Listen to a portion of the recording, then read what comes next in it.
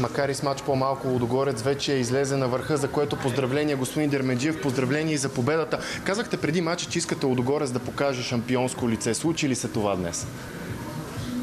Матчът беше малко нервен първото полувреме. Имаше напрежение, но въпреки всичко ние успяхме да вкараме три гол. С второто полувреме малко по-спокойно играхме.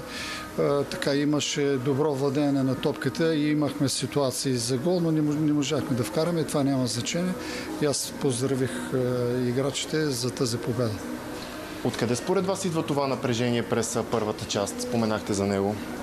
Ами, е, тази нервност идва от това, че на всяка цена трябва да се бие и още от това, че е, след това имаме матч с е, Сервет. Така че прави са играчите в това отношение, но въпреки всичко вие видяхте, че постигнахме една добра победа. Казахте ли с а, тази победа на вашите претенденти, защото и ЦСКА е такъв в подреждането, че ще им бъде много, много трудно да ви вземат чемпионската титла? Аз лично си гледам само моя отбор и искам това, което сме го начертали, да го постигнем.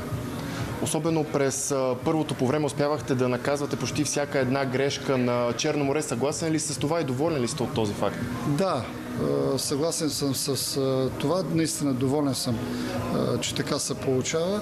Това са играчи с много добра класа. Как ви се стори отбора вече с Ивайло Чочев? Той имаше възможност да играе едно по време. Започва ли малко по малко да свиква с вашите изисквания и система на игра? Още е рано, но, но Ивайло Чочев е много опитен играч и той мисля, че няма да му, е необходимо, да му е необходимо много време за да се адаптира към отбора и към нашия стил на игра. Признахте, че е имало мисъл за мача с Сервет. Ще успее ли отбора да се възстанови? Вие имате широка пейка, но все пак успяхте да съхраните сили. Малко е времето до сервет, но въпреки всичко мисля, че ще се възстановим.